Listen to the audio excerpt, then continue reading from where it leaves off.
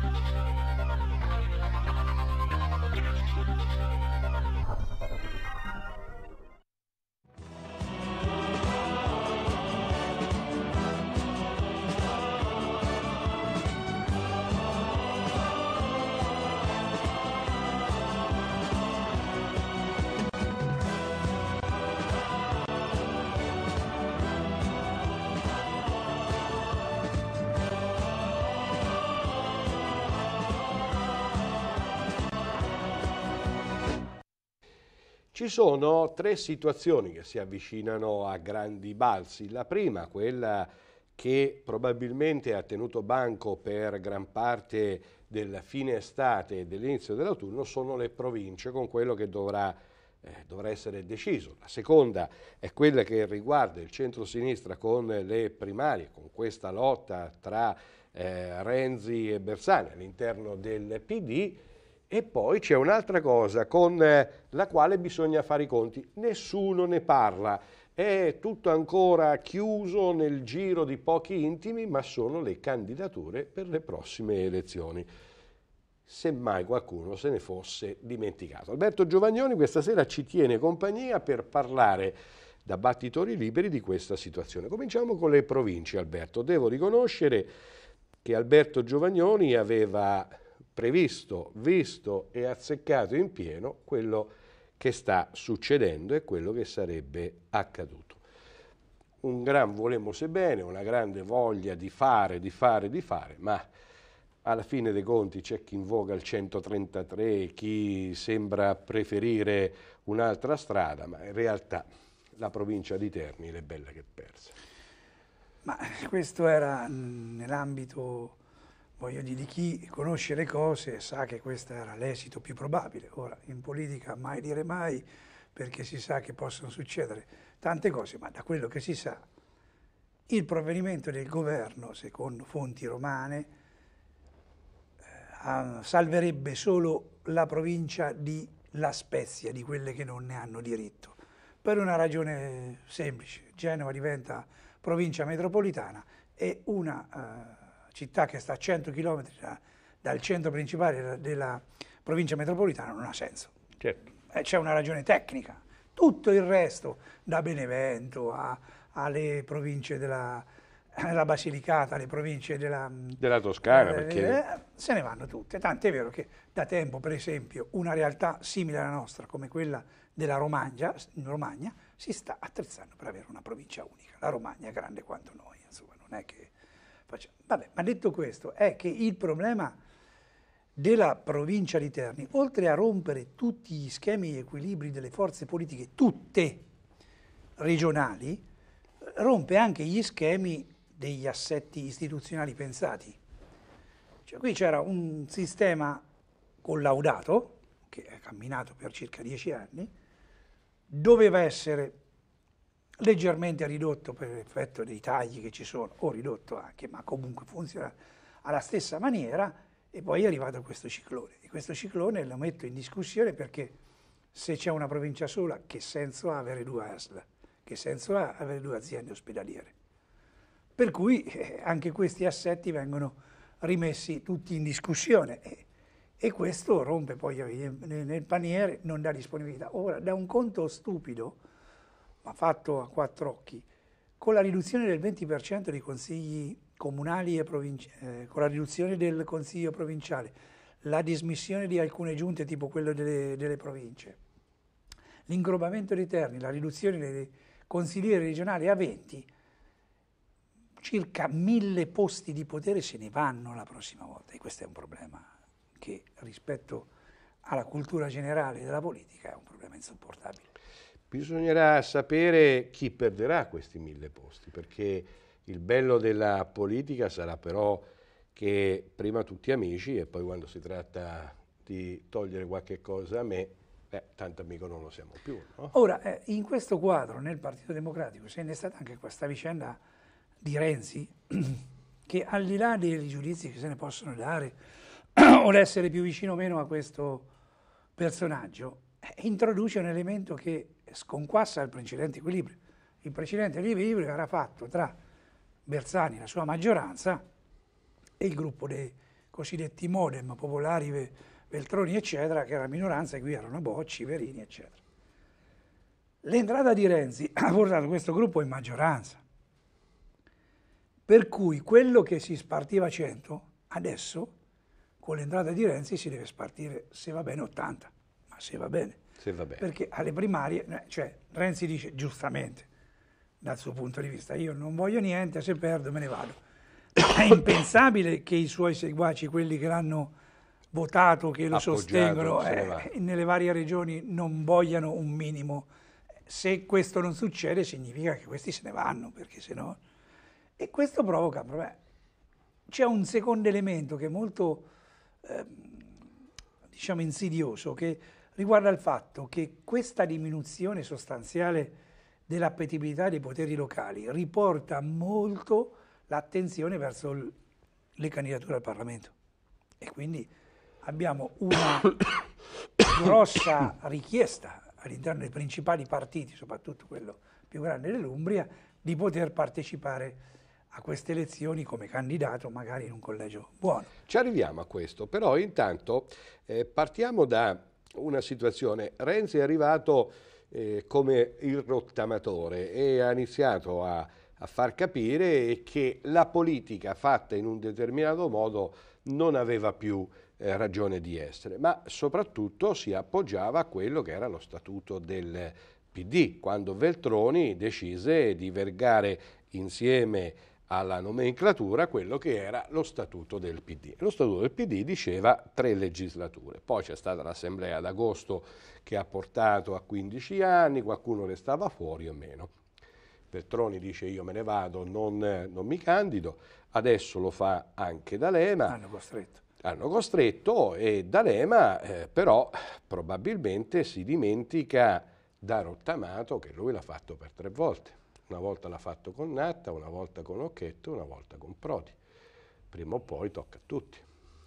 Sì, sì, no, lui, lui la parte del, ha fatto anche la parte del rottamato, eh, perché io eh, ricordo che quando lui si spese tantissimo per fare in modo di rottamare Natta e andare, mandare su Occhetto, Occhetto non fu assolutamente diciamo, un signore rispetto a questo grande aiuto che, e lo rottamò all'unità, cosa che lui sapete che odio ha verso la stampa e i giornalisti, ed era l'incarico peggiore che lo disse più di una volta, insomma, D'Alema su questa, su questa storia.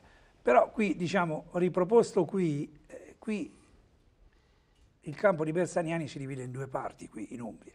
C'è la parte dei cosiddetti giovani leoni che sono, diciamo, i Capoccia, la Marini, e Boccali ed altri, a cui si è aggiunto si sono aggiunti alcuni giovanotti tipo Tommaso Bori che prima stavano dall'altra parte e i cosiddetti dalemiani, insomma, quelli di ferro, da Lorenzetti, eccetera, fino ad arrivare all'occhio, anche se sono un po' diver- diversificati al loro interno, eccetera.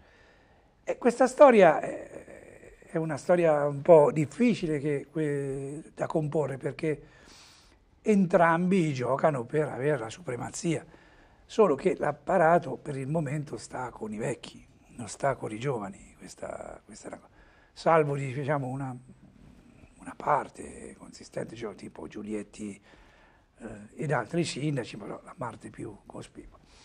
Questa cosa ha portato anche ad un eh, diciamo, avvio della campagna elettorale di Bersaniani un po' in sordina e un po' in ritardo cioè i renziani tramite i gruppi di Guasticchi, eh, Cucinelli eccetera sono partiti già da, da, tempo. Da tempo. I comitati di Bersani si stanno formando in tutta la regione adesso. Se uno scorre i giornali e vede le pagine locali si scopre che ieri c'era La riunione. la riunione del comitato bersaniano. E questo può portare anche problemi. È vero però alcune cose che dicono i renziani sono vere, insomma, le regole nuove favoriscono gli apparati. Questa è una cosa su quale hanno ragione.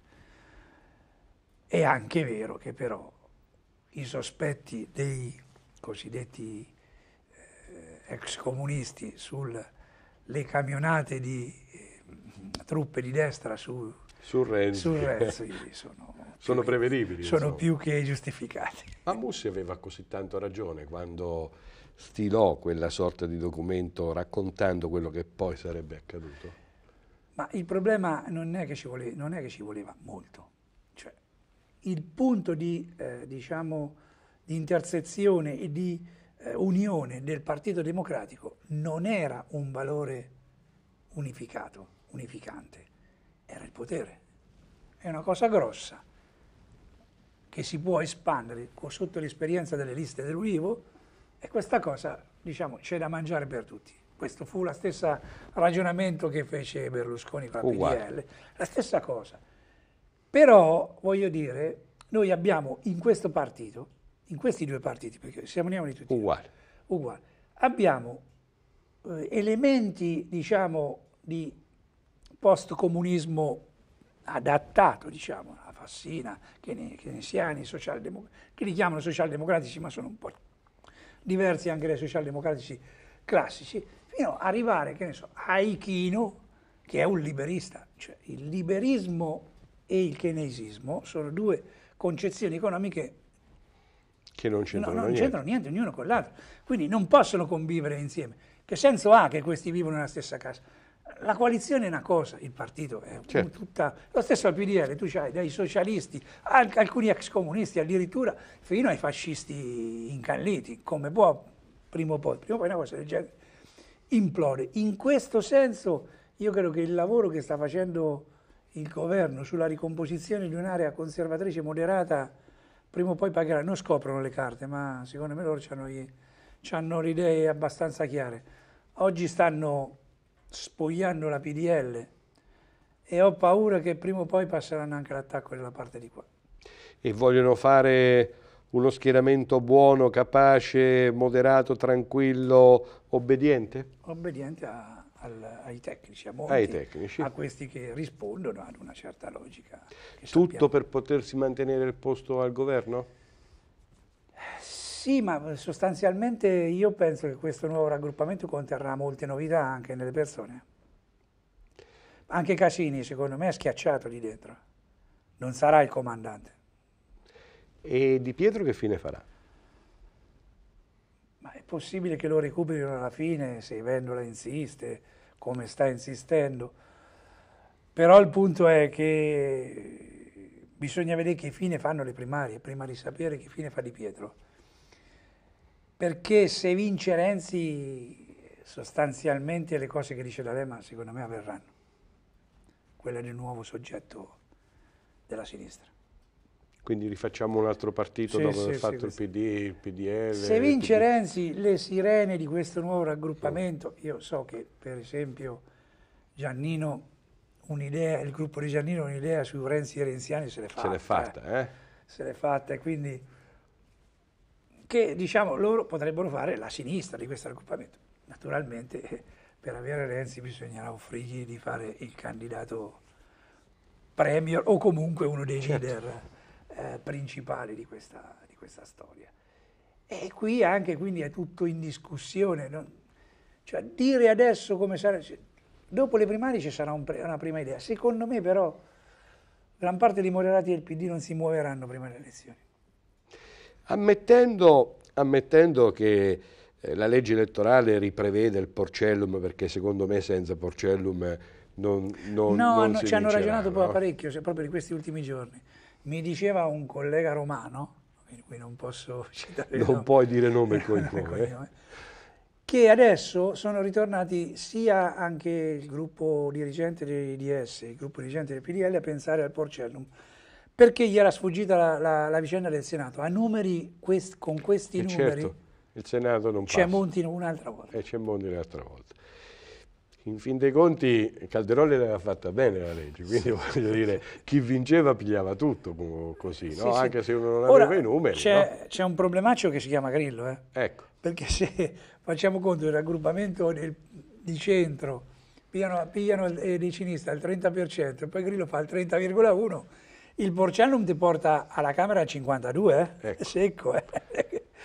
Ne parlano poco di Grillo, si fanno vedere poco in televisione. Io l'ho invitati e mi hanno detto in questo momento noi non partecipiamo alle trasmissioni televisive, però riempie una, una piazza come piazza eh, Vittorio a Trapani che è sconfinata e ci mette dentro 15 C'è stato recentemente a Trapani, so, no? so, di che parli. Eh, quindi voglio dire, riempire Piazza Vittorio non è facile no, con 15.000 trapanesi. Eh. Ci riusciva male il PC ai suoi tempi. Eh. Ai suoi tempi, nonostante eh, i braccianti e compagnia bella, non, non, ci riusciva bene.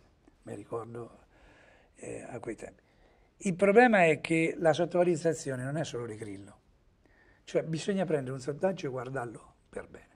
Se si guarda un sondaggio si scopre che i partiti tradizionali attualmente vengono indicati dal 25-30% massimo del corpo elettorale.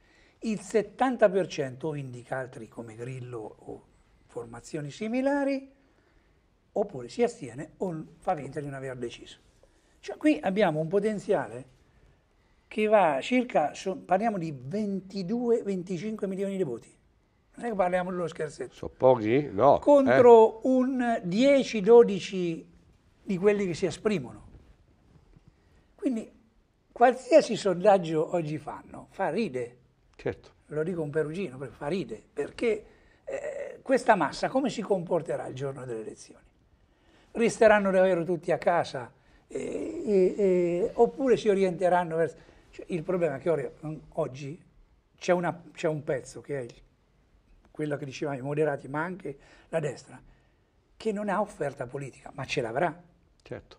Ce l'avrà e quindi prima o poi sapremo.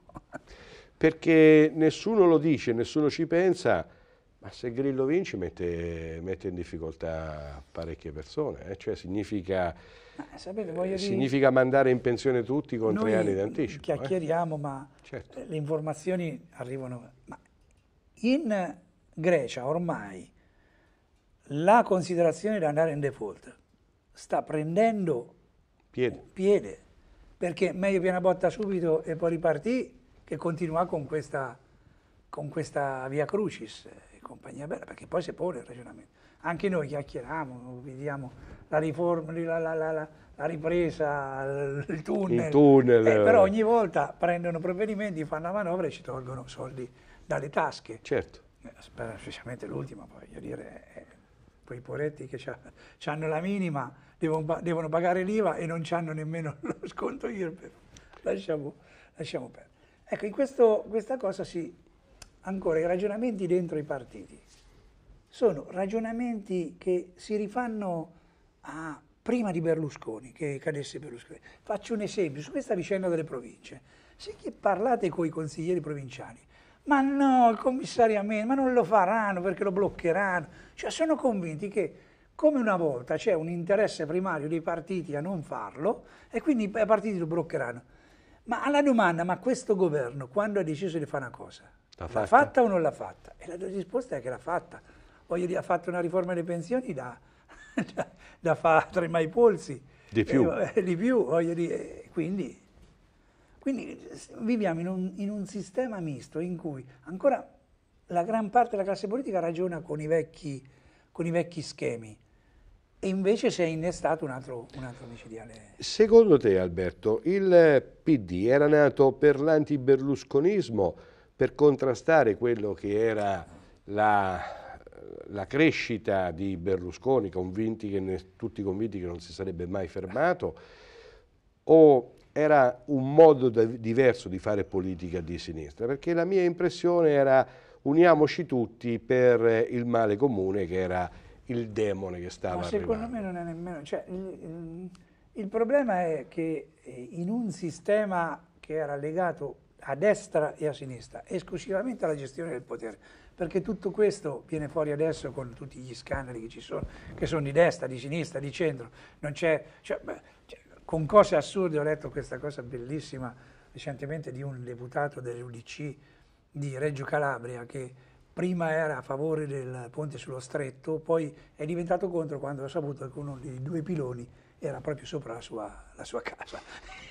cioè, è bellissima questa per dire qual è il sistema politico. Attualmente tutti, ehm, diciamo, questo, il potere era l'elemento centrale, la spartizione dei, dei, dei, dei soldi, tutto. Le poltrone, i favori. Anche, cioè. anche questo esagerato uso del denaro pubblico in maniera... Eh, faceva parte di un, di un sistema eh, che, che, che, si porta dietro, perché il berlusconismo poi se l'è portato dietro, roba, eh. da, dal craxismo e da e quant'altro. Perché, dagli iuppi dagli partiamo. Iuppi, eh. beh, il, il, nucleo centrale, il ceppo è, Erano è lo iuppismo e quindi la carriera politica fatta per vicende personali più che per vicende vicende generali. Ho raccontato io che una volta, voglio dire, un consigliere comunale a Perugia prendeva 20.000 lire e 10 quelli del PC li versavano già al partito Subito. e con gli altri 10 ci dovevano pagare persino le tasse su tutti i 20. Su tutti i 20, quindi era, era il modo diverso di fare politica. Arriviamo allora a questa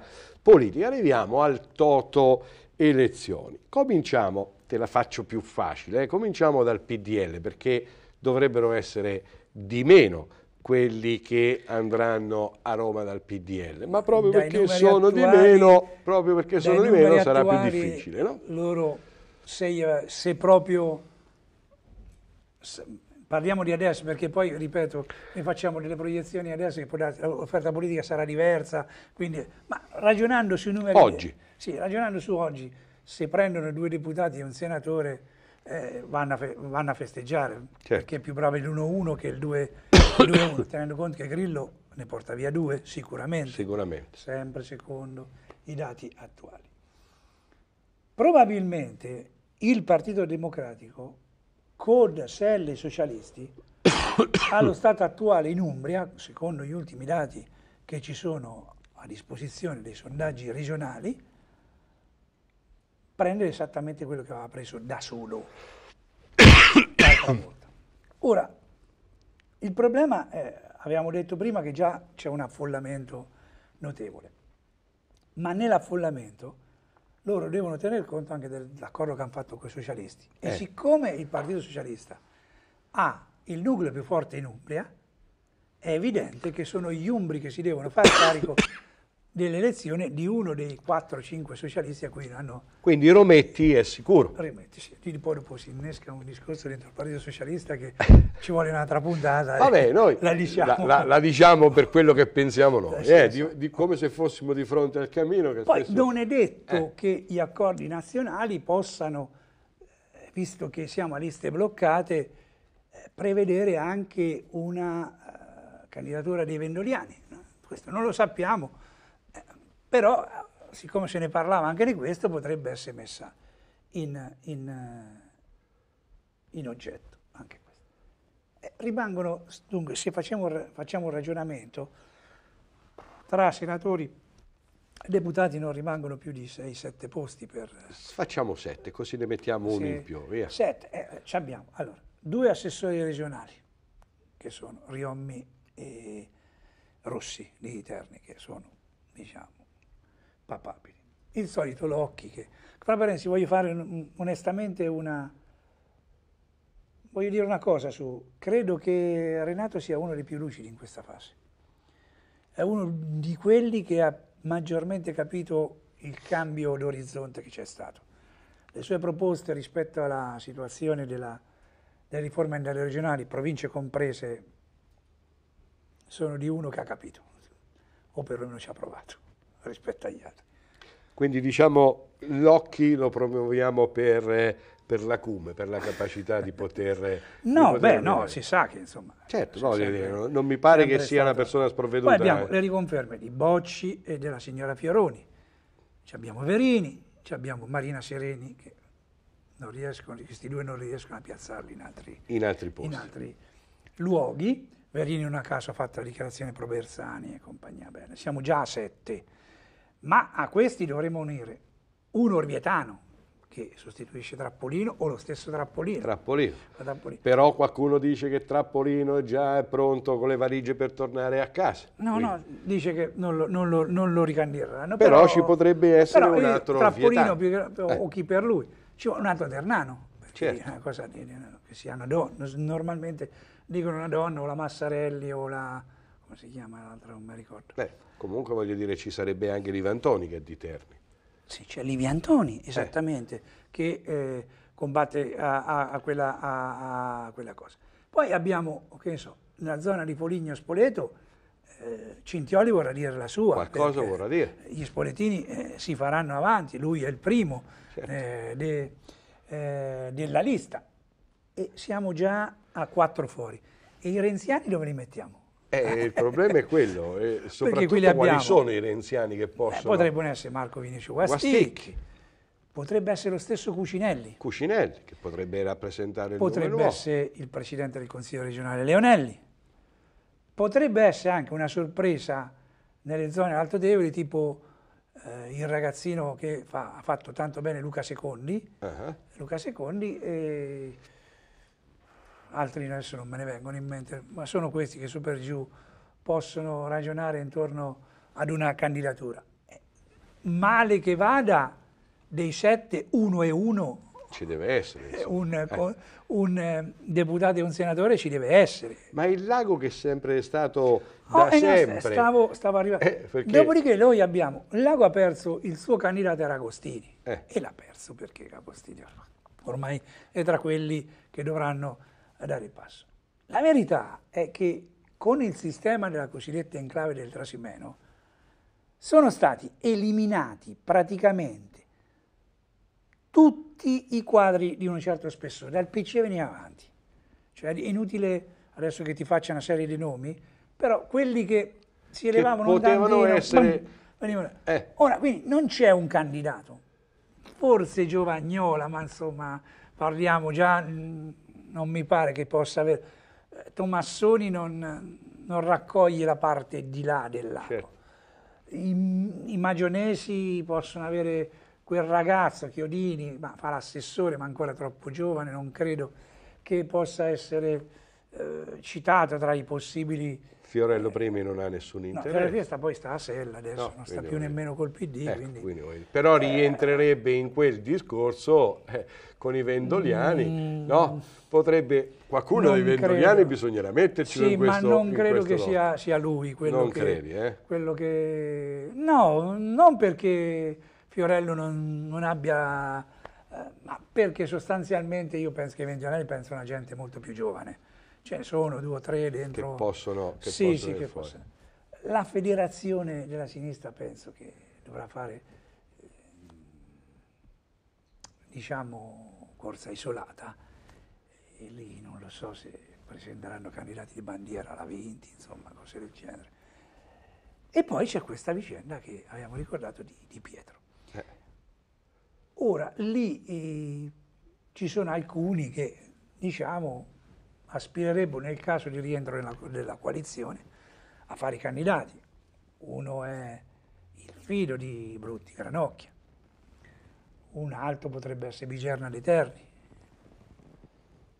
E però ci sono anche Andreani, il segretario provinciale, e non so, Dottorini non mi risulta che voglia... Ma credo che il Dottorini stia bene alla sì, appunto, regione, non credo che... lavoro alla regione. Non mi risulta che insomma la Casciarri è un punto interrogativo che non si perché eh, se hai notato le polemiche di questi giorni dentro quel partito sulla questione delle province viene sempre tirata in ballo ma lei non si... non si... Sarà un bel, un bel, match anche perché voglio Ora, dire... Eh, i, I problemi è che a destra non gli bastano anche a destra i posti però diciamo c'è chi ci si prepara e magari trova la sorpresa dell'uno in più. E qui è un problema perché, ripeto, c'è ormai questa... Perché teniamo conto che, che so, la Sereni e Verini sono i numeri due, di due delle due principali correnti, certo. di due grosse correnti, una è il numero due di Fassino e, e l'altro è il numero due dei Veltroni. È vero che i veltroniani hanno usato il vecchissimo sistema di Agostini quando lui aveva quel gruppo che si chiamava La Famiglia dentro i PDS e DS, lui smentirava, ed era abilissimo perché ne piazzava un po' di qua e un, po', po di, là. là. Al tempo del Correntone, lui assieme a Ricci di Orvieto, assieme al povero Selli de Luisp, eh, assieme a Boccali, se ne stavano con il Correntone di Luigi Berlinguer, di Giovanni Berlinguer. Racimelli, la Sereni ed altri se ne stavano da dall'altra parte. parte. con Fassino e certo. quindi quando si fece il conto degli organismi dirigenti i due, cioè lui aveva molto più potere dei voti che aveva certo. riportato. E Veltroni ha fatto la stessa cosa, 21 con Verini in testa hanno firmato per Bersani, ma Morando, Ichino, eh, Gentiloni ed altri stanno con Renzi, quindi quando si andrà a ragionare... Male che, male che vada pareggiamo. Quando insomma. si andrà a ragionare di candidature... Male che vada pareggiamo. Perché poi la furbizia di questi è, io valgo tot e lo dicono a Bersani, quindi mi devi dare tot. Io valgo tot, Renzi, io valgo tot e qua, qualcosa prendiamo. Certo che, e concludiamo questo, questo intervento, certo che l'arrivo di Renzi non era preventivato. Credo che sia stato davvero il, il Ma sasso. Ormai lo dovevano sapere, sono anni che lui dice che avrebbe fatto le primarie, come Vendola. Cioè i due sono anni che dicono che vogliono le primarie, che vogliono fare le primarie. Cioè, non preventivarlo eh, sarebbe da sciocchi. Ma era così preventivabile che Renzi potesse essere dirompente in questo modo? Ma questo forse no, ma però il punto, non, il punto, è che questi non hanno capito, cioè dovevano guardare Grillo e capire che Renzi ci avrebbe potuto avere questo successo. Perché la gente ormai vuole qualcosa fuori dallo schema, abbiamo detto prima dei numeri, no? Fuori dallo schema. Lui, io li sento gente che era comunista e quindi che dovrebbe vedere come il fumo negli occhi uno che propone le cose che propone Renzi. Ma ragazzo, proviamolo, che sino sempre questi di qui, ne abbiamo fatto, hanno fatto mai niente con questi. Cioè, questa idea di affidarsi ad un, una cosa che non, non, conosci, che non hai visto, eh, c'è no? nel, nel giro della gente proprio fondamentalmente. Ora ripeto, le regole ammazzeranno molte di queste spontaneità perché e devi fare una fila per registrarti, poi devi rifare la fila per votare e poi devi conservarlo perché la domenica dopo ci può essere il ballottaggio e se non hai votato lì prima il ballottaggio da portare il certificato. Certo che Berlusconi l'aveva inventata la politica nuova però eh? sì, sì. e adesso vedo che bene o male tutti quanti cercano di prendere un po' di quello che, di quello che era il, il suo stile. Il fatto è che ci abbiamo perso 16 anni per cercare di, eh, di, di lottare contro, contro, Berlusconi pensando che fosse stato il male dell'Italia quando invece la ricetta era quella di cambiare se stessa e proporre qualche sì, cosa. Sì, no, beh, la Seconda Repubblica non ha cambiato niente, no? Ripeto, sono andati sulla traccia dello iuppismo craxista, graziano, moltiplicandolo per 10, certo. perché questo è il punto, è stato moltiplicato per 10 e quindi la politica è stato solo un affare personale, insomma, cioè, anche queste polemiche sui banchieri, insomma, eh, questi che le fanno si ricordano, abbiamo una banca? Eh, certo. sì, non, non, non, è pensabile, insomma, quando l'Unipol, si ricordano, quando l'Unipol si eh, votò in borsa e c'erano fior dei comunisti fuori dalla serie a aspettare il pacchetto, insomma. Eh, certo. Ognuno tira l'acqua al suo mulino, eh, certo, insomma, eh, pecunia non olet.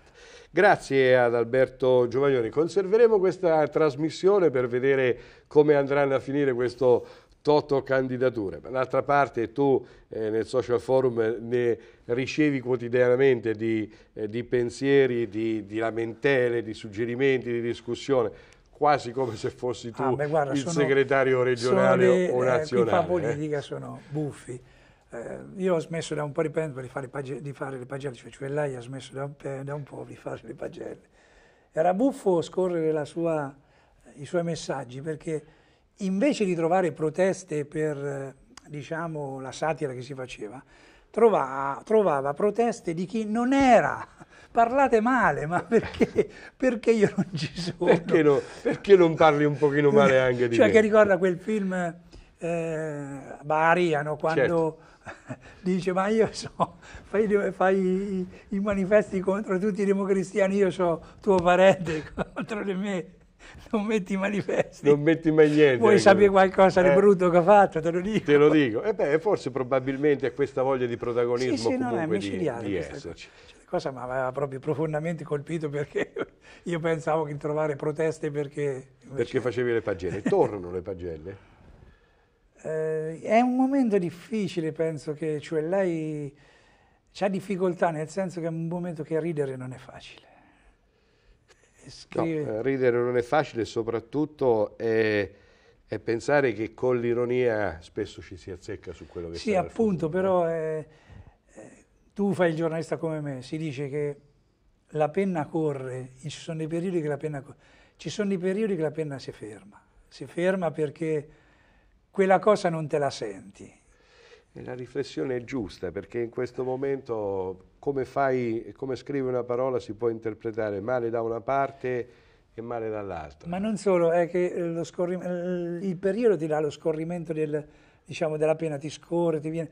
Adesso ti si inceppa perché i problemi sono diversi e ogni volta pensi, ma di fronte a una cosa del genere posso dire questo, questo, questo scherzarci, ci posso scherzare. Con le persone che vanno a rovistare eh, le cassonetti per appunto, cercare questo, di trovare questo, per, Non è facile, fare ironia e satira adesso non è facile, non, per me che ero un piccolo, per Ricciuellai che era un piccolo uomo, eh, poco, ma penso anche a quelli che lo fanno. Però Alberto, e chiudo, eh, però credo che in questo momento anche chi se la passa male, ma male, male, male, male, avrebbe voglia di cavar fuori un sorriso e di dire hai visto stavolta gli dirò di riprovarci hai visto che stavolta ci sei capitato anche tu perché è anche vero che il momento è triste ma noi italiani abbiamo la, straord la straordinarietà e la capacità di passare soprattutto e di ridere comunque anche Beh, era quello che ci peggio, insegnavano i nostri vecchi di ridere anche nelle che venivano dalle sfortune, campagne no? per cui il